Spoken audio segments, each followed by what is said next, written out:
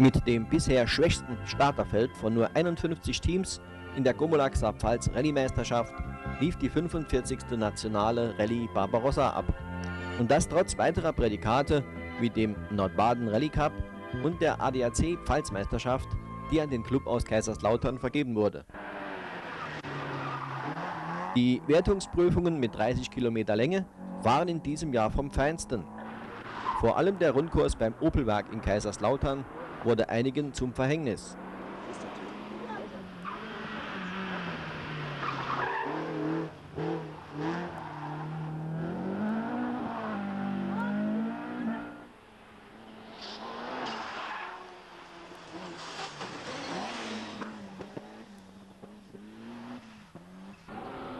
An der Spitze hatte die Gruppe A Ford Escort Cosworth Besatzung Bernd Schomann, Sonja Basisch das Sagen.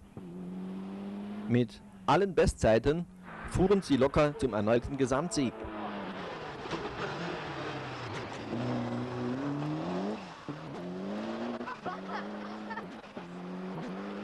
Lediglich die Mitsubishi Lancer Crew Armin Wahl, Theo Groß hätten den Sieg verhindern können, wenn der Lancer Evo 2 nicht immer noch an Kinderkrankheiten zu leiden hätte.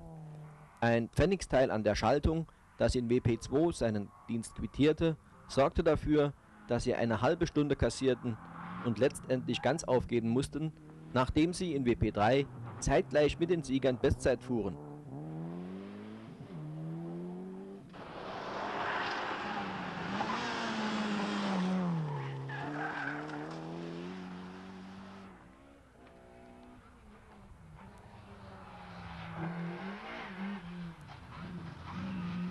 Einen erbitterten Zweikampf um den zweiten Rang lieferten sich Decker Greiner auf Opel Kadett und die BMW M3-Piloten Petri Grün.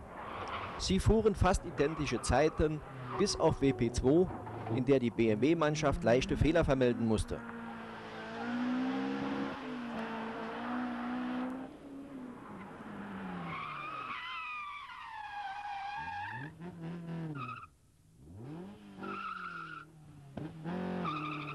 Mit 11 Sekunden Vorsprung gewannen Decker Greiner damit auch die Klasse F7 vor Lothar Eisel und Kai Zimmer auf dem Opel Kadett, die auf dem vierten Endrang landeten.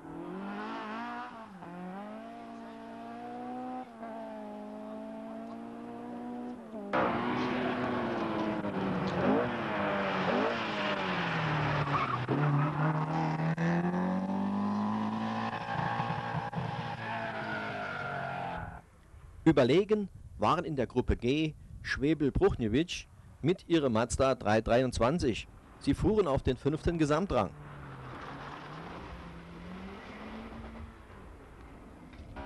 Markus und Bernd Brack parkten ihren Opel Corsa kurz neben der Strecke, können aber ihre Fahrt später fortsetzen.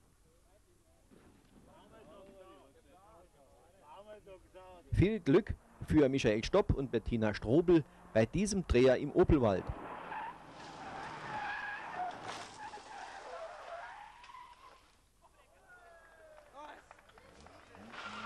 Auch der Vorwagen dreht eine Pirouette zur Freude der Zuschauer.